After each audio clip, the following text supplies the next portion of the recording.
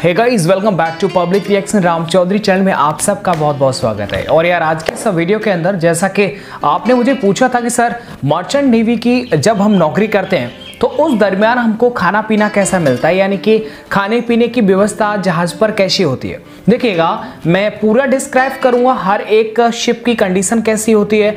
और ऐसा भी होता है कि कभी कभी हमको, जो हम चाहते हैं, वो खाना भी नहीं मिल पाता है। यानी कि हमें बिस्किट से या फिर हमें मैगी से पूरे छः छः महीने, नौ नौ महीने गुजारने पड़ते हैं। ऐसा ज़रूरी नहीं है कि हर शिप पर आपको खाने पीने की सुविधा बड़ी बेस्ट मिलती हो। ऐसा नहीं होता है। तो वो मैं बताऊँगा, वो एक्चुअल में कंडीशन कौन कौन सी होती हैं, जिनके बारे में मैं इस टॉपिक पर यू नो डिस्कस करने वाला हूँ। पूरा डिस्कस करूँगा हर एक जहाज़ के बारे में, ताकि आपको ये समझ में आएगा कि जो आपके एजेंट आपको बोलते हैं, आपके दोस्त बोलते हैं, वो कितना सच है और कितना गलत है। आपका दोस्त भी कई सारे यू नो क्वेश्चंस इस तरह से आते हैं कि, सर, जहाज़ पर क्या एक सी फरर को क्या माल जो है वो लोडिंग अनलोडिंग करना पड़ता है? वहाँ पर बोरियाँ ढोनी पड़ती हैं। अब आपको पता है ना, बहुत ज़्यादा क्वेश्चन इस तरह से होते हैं। जो कि बेबुनियाद होते हैं और उनका लॉजिक क्या होता है, कितना काम उनको करना पड़ता है या फिर नहीं पड़ता। पूरी डिटेल इस वीडियो के अंदर मैं आपको समझाऊँगा। दोस्तों, मुझे प्यार और सपोर्ट करने के लिए आप सबका बहुत बहुत शुक्रिया। क्योंकि मैं इन सभी प्रश्नों के जवाब बहुत अच्छी तरीके से दे सकता हूँ। क्योंकि मैं एक एक्स मर्चेंट नेवी सीफरर हूँ। अब देखिएगा, मैं आपको बताता हूँ कि होता क्या है।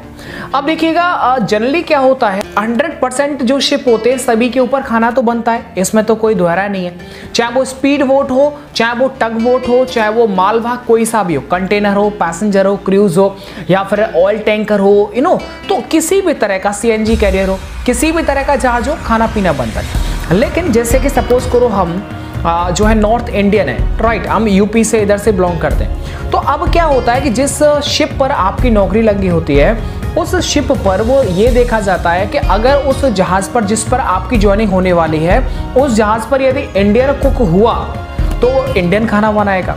नॉर्थ साइड का जो खाना है, वो उस जहाज़ पर नहीं मिलेगा। जैसे चपाती, जैसे कि रोटी है, रोटियाँ आपको देखने को नहीं मिलेंगी राइट तो वो डिपेंड करता है मेजोरिटी के ऊपर। एक और चीज़ मैं बता देता हूँ कि घर पर आपने शायद ही ऐसा खाना खाया होगा जो आपको जहाज़ पर देखने को मिलता है। यानी कि मैं बोल रहा हूँ बेस्ट क्वालिटी का, एकदम फाइव स्टार खाना मिलता है, जो आपने घर पर नहीं खाया। देखिएगा खाने पीने की मैं तीन शिफ्ट होती हैं। वैसे नाइट में ड्यूटी लगी हो तो उनका भी मैं बता देता हूँ क्या क्या मिलता है क्या क्या नहीं मिलता।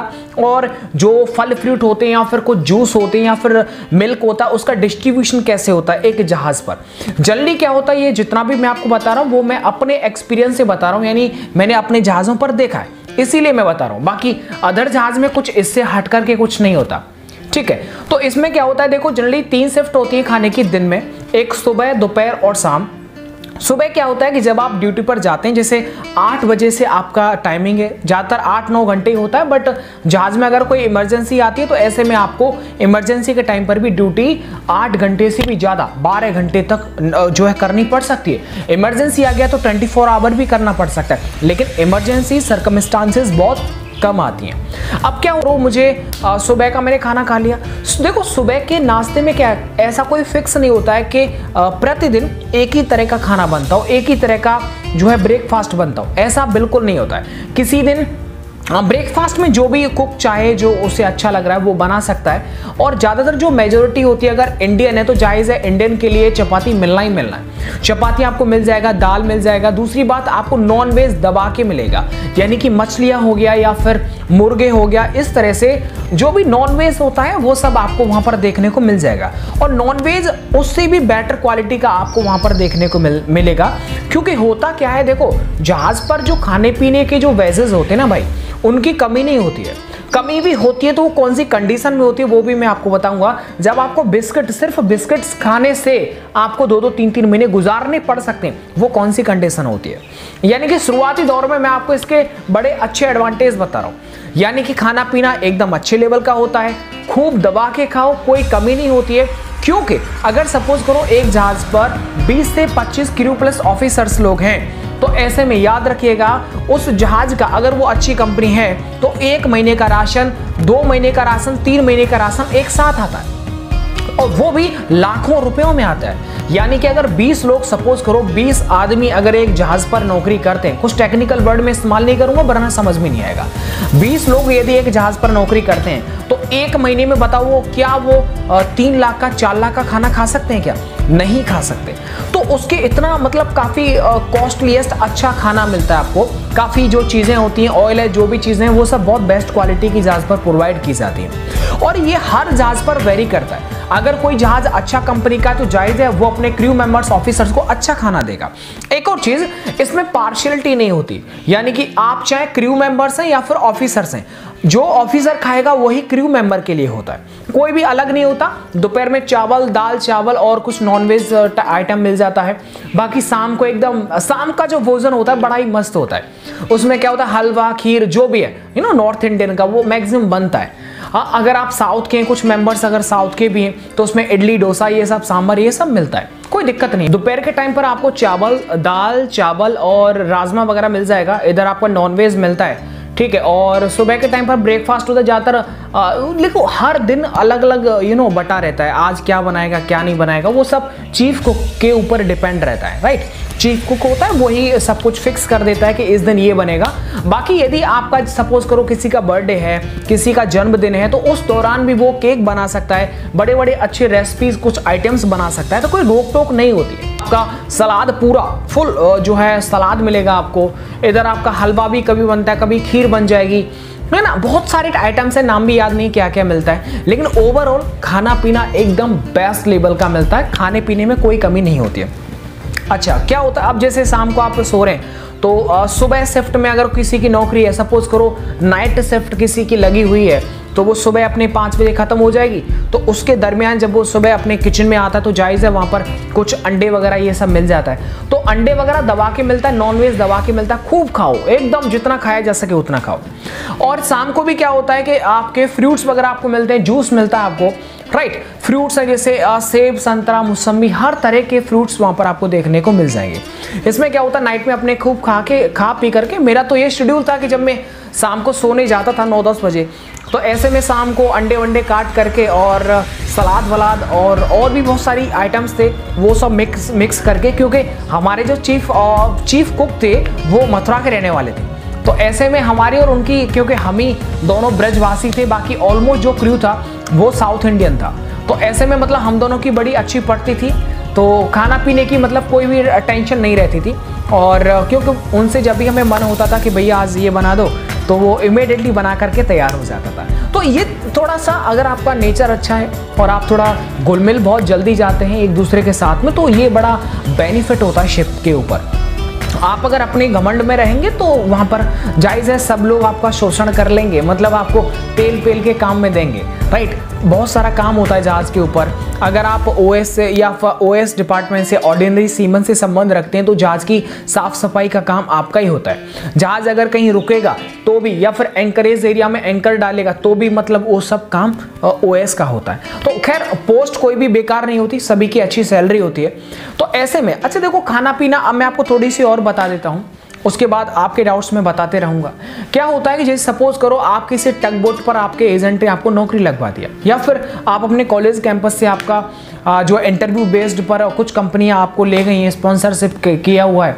तो ऐसे में क्या होता है कि सपोज़ करो किसी भी कारणवश आपका शिप नहीं मिला अच्छा आपको, कोई बेकार शिप मिल गया एकदम खटारा, और इसके साथ ही साथ कोई टग बोट मिल गई, बहुत बेकार सी टग बोट मिल गई तो जायज़ है कि आप जो चाहेंगे वैसा खाना नहीं मिलेगा। राइट ना? तो खाने की समस्या सिर्फ़ उन जहाज़ों पर आती है जो अच्छे जहाज़ नहीं होते, जिनकी कंपनियाँ अच्छा नहीं होती ठीक है? और इसमें जूस वगैरह भी आपको मिलते हैं, कुछ डब्बे होते हैं कुछ टिप पैकेट में पैक्ड जो होता है जूस होता है। और वो जूस क्या होता है? जनरली क्या होता है? जहाँ तक मैंने देखा है वो जो जूस के डब्बे होते हैं, वो एक निश्चित मात्रा में होते हैं, निश्चित संख्या में होते हैं। तो ऐसे में क्या करते थे, ज़्यादातर उनको बांट दिया जाता है। बाकी जहाज़ पर आपको लिकर भी मिल जाएगा पीने को, यानी दारू भी मिल जाएगा बियर भी मिल जाएगा।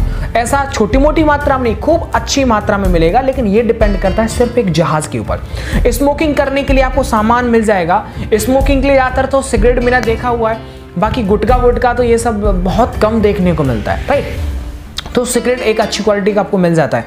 और इसके साथ ही साथ क्या होता है कि अगर आप सपोज़ करो आप नॉन वेज हैं या फिर आप जो है बियर नहीं पीते, से ऐसे में क्या होता है कि जैसे सपोज़ करो आपके पास आपको 10 कैन आपको बियर की मिली और उसमें 10 जूस का मिला तो अगर आप बियर नहीं पीते हो तो 10 कैन हर कोई ले लेगा। दो दो, तीन तीन, या फिर किसी एक को दे दो। ये 10 कैन आप मेरी ले लो और मुझे आप फल फ्रूट वाला जो जूस है, उसे दे दो। या फिर आप दूध मिल्क वाली कैन मुझे दे दो।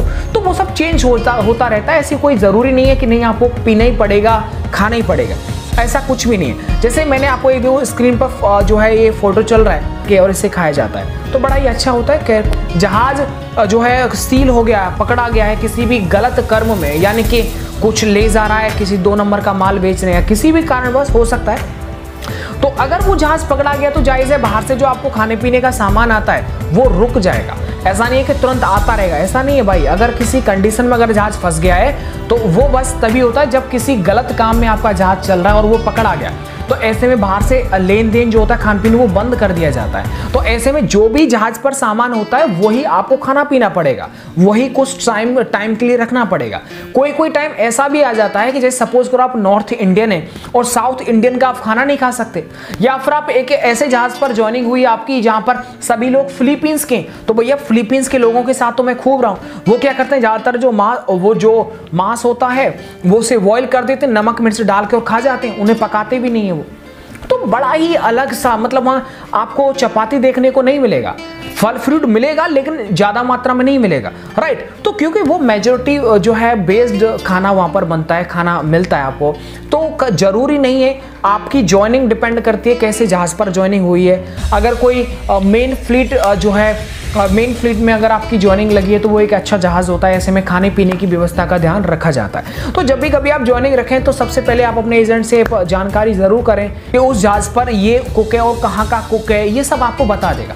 तो बहुत सारी चीज़ें जो कि वो मैटर करती है तो खाने पीने के, को लेकर के आप कभी भी टेंशन मत लिया करो, ठीक है? अगर आपका कोई भी सवाल या सुझाव हो तो आप मुझे दे सकते हैं। बाकी पढ़ाई लिखाई क्या कुछ होती है मर्चेंट नेवी की पढ़ाई कैसी होती है, वो सभी मैं बता दूँगा। और कुछ मुझे कमेंट आ रही थी कि आई के बारे में आप बताइए। तो मेरा खुद अपना एक मित्र है, वो आईएमयू में जो आईएमयू से स्पॉन्सर स्पॉन्सरशिप लेकर के और एंग्लो में गया हुआ है तो मैं उसके बारे में मैं आपको बताऊँगा। मिलता हूँ मैं आपको नेक्स्ट वीडियो के साथ। यदि आपका कोई डाउट है मर्चेंट नेवी से रिलेटेड तो आप मुझे पूछ सकते हैं। धन्यवाद।